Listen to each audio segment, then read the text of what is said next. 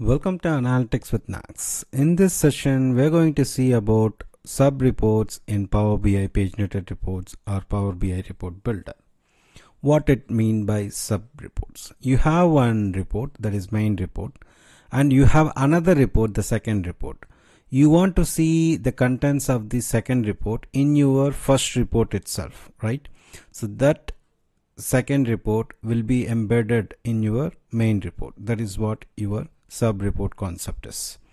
So a lot of people while developing Power BI desktop reports, they ask same kind of behavior like this. When they choose some parameter that will pop up a new report or will filter another report. So thus, that is not possible in Power BI desktop reports, whereas in Power BI paginated reports, we can achieve the same results using sub reports. If you are still not uh, convinced what I'm saying, let us jump into demo. If you're new to this channel, hit the subscribe button and press the bell icon for notification. So I have my two reports here. One is uh, main report and another report is called sub reports. So the main report which will show me the product wise sales amount. Let it load. Meanwhile, we will go and launch our sub report. The sub report will show me the order type on shop or online order just just it displays it even it can be anything uh, that can be a big and there are different scenarios you can go for a sub report let me cover it up later but i want to show you what are these two reports it's our main report output as came. So now you can see this main report contains a list of product and my sales amount. So i want my the second report okay the sub report to be present under this particular report right the main report. Now to do that we need to go and insert our sub report uh, item over here. Then configure the sub report here. That is as simple as that. Before doing that I need to deploy this main report and sub report in the Power BI services. Let us do that first. Let's try to publish. As you may aware like we need to have um, the premium capacity workspace. I'm deploying it here main report publish. That's done. And let us go to sub report and we will do it again as sub report. So go back here. I'll say sub report AWN demo. Publish once again that's it. We are done with deploying of these two reports. Now go to your main report and let's do sub report drag and drop. Once you're done click on right click on the sub report then click on properties. Here you have option to choose the sub report from the services. So ensure you deploy it in the services. Basically in SSRS you can navigate to the RDL file or report in the report server. But in case of Power BI, Power BI report builder or paginated reports you can get it from the Power BI services. So I'm just navigating that sub report from here. Once you click on it click on open. That's it and if you have any parameters with the sub report you can configure it. Right now I do not have any parameter. Let us leave it. And the second part of the video I will add some parameters then configure it.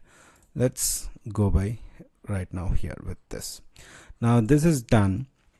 Now what happens once you launch? So this will populate. This main report will populate its data from here. And this sub report will also connect the data from its own data set that is configured in your sub report right? So let us try to launch this main report and see what was the result.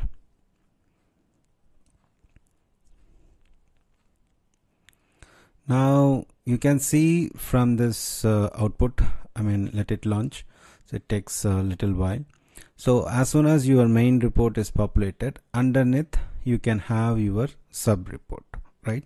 So what is the point of having a sub report you now you might have thought like having the simple logic over here right? The same same simple uh, report over in the same place. Uh, instead of sub report i can add that same table. Basically you can do that. Uh, it is like uh, more or less uh, configuring um, your report. The, there are different purpose. You will go for sub report basically once you create your uh, main report the sub report if it is next to that report then and whatever I designed is very simple right? For simple table you cannot you will not go for sub report. Assume there is very complex logics involved and you want to make neat design here right? There should not be any uh, for management purpose the main report will be here. And this sub report can be used for other purposes as well. Not only this report the sub report used for this report. This is a common report. This is used in report 1 and many other reports. In those cases you will create a common report that will be utilized in many other reports. This is purpose number one. And there are some cases like when you choose some parameter in this report that should be passed to your first you need to pass it to the sub report then only this report should be visible. Kind of user security all those purposes. Then you need to go for your sub report what do you mean by that? Basically like um, assuming for each product what let us assume a scenario. For each product how much quantity sold? Okay that i want to see it as part of the table here in order to do that basically I can configure this sub report adding as part of this table itself okay? This is one way. Or you can add a parameter to your main report. That parameter can be passed to your sub report as well. There are different scenarios you can use it. Let me walk you through one of the scenario where I will add some parameterized values in my sub report and that parameter value will be passed from my main report. Let us do that first this report doesn't have any parameter. In order to add a parameter here now when you click on it the report launches immediately. I need to add a parameter. For that I need a data set. So let us try to build a data set. So this is actually the Power BI data set. So whatever you query it will be like a DAX query you need to write. If you are uh, aware of writing the query you can write the query here to fetch the distinct of uh, product name as a parameter. Uh, for your uh, purpose to understanding I'm just using the query designer like over here which will be very easy for you to um, get the DAX query if you are not able to write. So it's very simple just drag and drop and then press ok then your output is done I used only the sales table so I'm not going for any dimension right now. So just drag and drop product name which will if you execute the query which will fetch me the list of um, distinct product names. So if you want to see the query just press ok then it will generate our DAX query for us because Power BI dataset is internally a tabular model. So you see evaluate summarize column. It's just a summarize columns function. Okay so this data set is nothing but um, my um, product list. Let me name it as uh, product list okay? This is to get my distinct values of um, for my parameters. So add parameters so if you are viewing this for the very first time you may not aware how why i'm doing this. Because adding parameters i have separate video just go and watch it. So available values so go to dataset product list value product name label name excuse me. So once you are done your parameter is ready. Once you run this now you have ability to choose uh, uh, which particular product okay report parameter name. So based on the parameter now you can see this will change. Okay i'm sorry this is not changing because I need once you add that parameter you need to filter your dataset here. So come over here add filters then add product name then go back here. So these things I have uh, explained in detail how you need to configure. Just watch it out my uh, how to add parameter uh, video. Now once you choose any of the product in your sub reports right you see the values are changing based on the values you choose okay? This is fine. Now going back to my main report now what I need to do? Here I need to configure that uh, parameters. First of all before doing this first publish this report. That is your sub report the first case whatever I shown you it's very simple. Without any parameter nothing. Just two reports. You will have main and sub reports. You are doing it on your I mean just importing or embedding the sub report in the main report.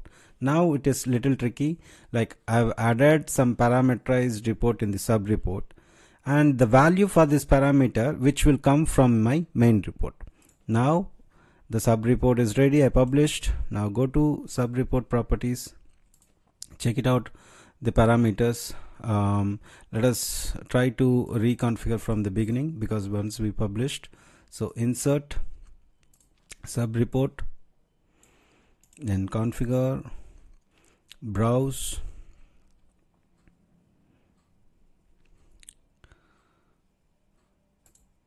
So sub report demo click on open. There you go. Go to parameters. Use these parameters to run the sub report okay? So you need to add that parameter. So now you see that whatever you deployed in your sub report this is the name we deployed report parameter one. What value you need? You need the value to be passed as first of fields name. That is this from here okay? Now you see what we have configured how we have configured. This report is able to run okay with first of product name. We are passing one parameter that is first of product name because we are not passing anything from this table. Just we will try to launch and you will understand what I'm trying to say. Once you pass it the main report will run. After that the entire the second report will be fetched only for the first product that is chain. For this chain or whatever the first value okay? That is passed over here. But I want this is one of the scenario you will pass it okay? Either this main report also should contain parameter that you will choose then one this main report also filter for that parameter sub report also filter for that parameter that you can do it. Now this is passed as first off you can see from here parameters first off uh, you can see from this expression first off product name. So that is why it is passed as first value. Instead I can have that sub report executed for each row. So you can add column here click on this add column um, insert column outside the group right okay? Here I just drag and drop this sub report here when you drag and drop what happens?